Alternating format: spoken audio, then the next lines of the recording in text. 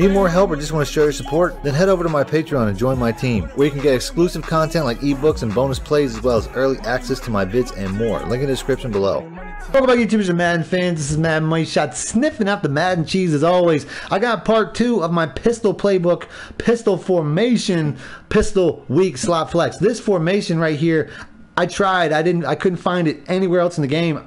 I'm pretty sure that this particular formation is so glitchy that they took. I thought they took it out of the game maybe last year or the year before that. Um, it was such a good formation. It was slightly different than it is now, but it was such a good formation. I used to use it out of either the Atlanta playbook. I'm pretty sure it was the Atlanta playbook uh, where it was just such a nasty, a nasty, glitchy uh, toss play, uh, which I showed in the first video. I'll try to pop a link for the first video if you didn't see that. Slight setups outside of pass play in there was a two part uh, video. So if you want to check that out, make sure you do that. I always lead with the best plays, uh, but this next you know set of plays is is just as good. So we're going to try to go one run, one pass uh, pretty much all these. This whole formation, I can make plays out of pretty much everything uh, you see here. I, I, love just about every play um, that's on this, uh, with the exception of maybe like one or two. Other than that, I mean, I'm not going to show like the F lead read option. There's nothing really special there. But this is just a really good, really good formation.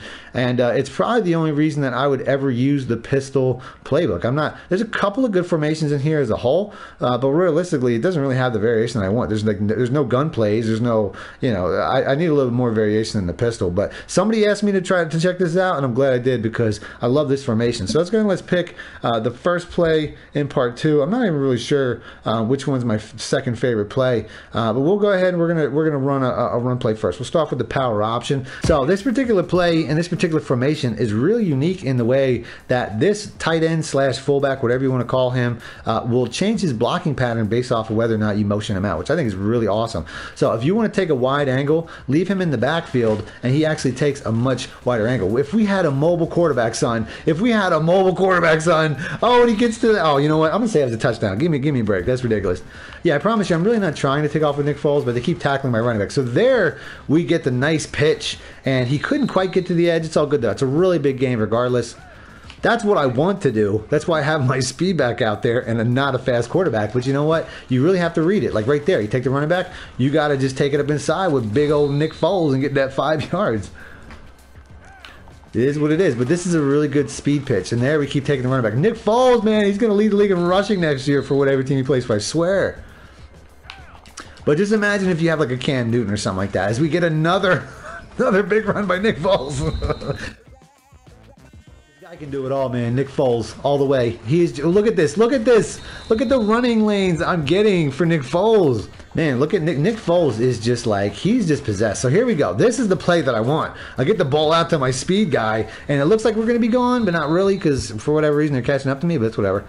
Yeah, regardless of whether or not you're keeping with the quarterback or flipping it to the running back, that was a that was a swift little flip right there. I didn't really finish the play, but it's all good. But regardless, regardless of whether you keep it or you flip it, I'm getting pretty good gains every time. I mean, look at this, man. I mean, to an extent, it looks like I could break 100 yards rushing with Nick Foles. Like that's how ridiculous this is.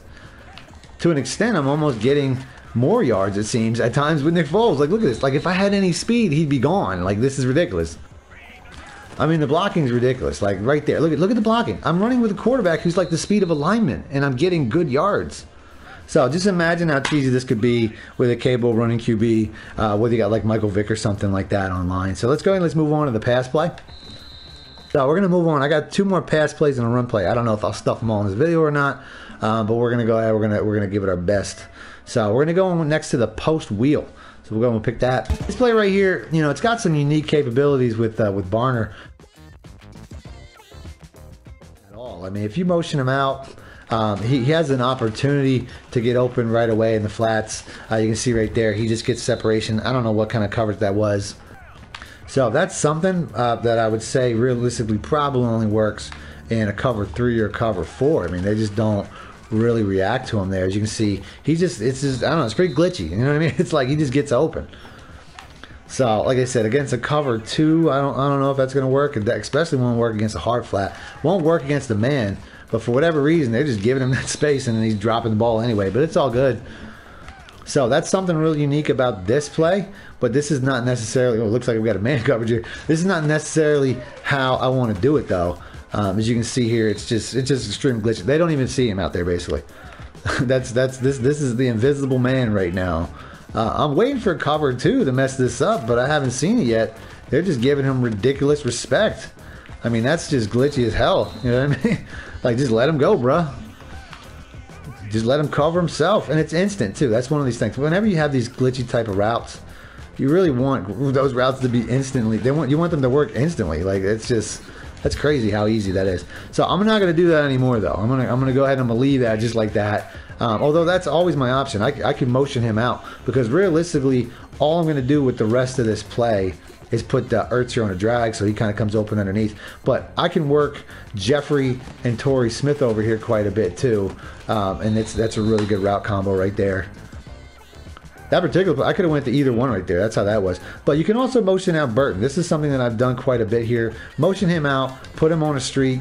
Uh, I would say in this scenario, just put uh, put the running back on a pass block and uh, totally messed that up. I messed up everything there. But uh, put the running back on a pass block, and then you still want to put Ertz um, in a in a uh, streak like that. You just want to, or not streak, a drag, whatever. So yeah, you want to keep putting him in that drag, and you're going to see how you know this is just you have your, your, your streaking tight end now. I mean that's just cover three beer. It's going to be a problem all day.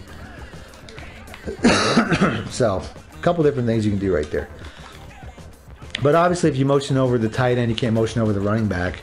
So, uh, but it's really up to you. I mean, you can see they're both pretty good, both pretty good options. I got to be honest, I want to see this running back one more time. I mean, that's glitchy as hell, man. If you put Burton, you can still put Burton on the streak there, too.